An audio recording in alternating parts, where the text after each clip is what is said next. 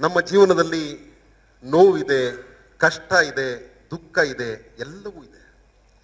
ತಾತ್ನವ್ರು ಅದಕ್ಕೆ ಹೇಳ್ತಾರೆ ಪಟ್ಟೈನ ಗುರುಬೋಧ ನೆಟ್ಟುಕೋನಿ ಮನಸ್ಸುನ ದಿಟ್ಟಮೈ ನಿಲಚೆಗದವೆ ಅಪ್ಪ, ನೀನು ಏನಾದರೂ ಇರಲಿ. ನಾವು ಸುಮ್ಮನೆ ತಿರುಗಿದ್ರೆ ಬಿದ್ದೋಗ್ತೀವಿ ಕೆಳಗಡೆಗೆ.